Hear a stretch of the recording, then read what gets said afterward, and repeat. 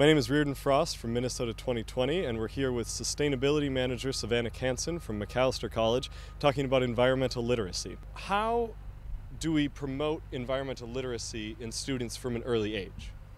I think we get students involved in projects at their own school and in their own communities. When students realize when they're turning on the light switch in their house that they're turning on a coal fired power plant and it doesn't just come from magic, that really helps because people don't connect what they are doing in their daily lives and what they're doing with their institutions with these larger issues like climate change. So I think when we get students more involved in energy efficiency projects, in solar projects, renewable energy projects, and they really do understand how how these connections are made. So, what are some ways that Macalester is getting involved in sustainability?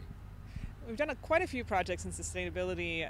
Our college president signed the American College and University President's Climate Commitment, and that in, in, doing that, we had to come up with a date that will become climate neutral. So our date is 2025. And students in a class made recommendations for a climate action plan. We wrapped that into a sustainability plan, which is now two years old.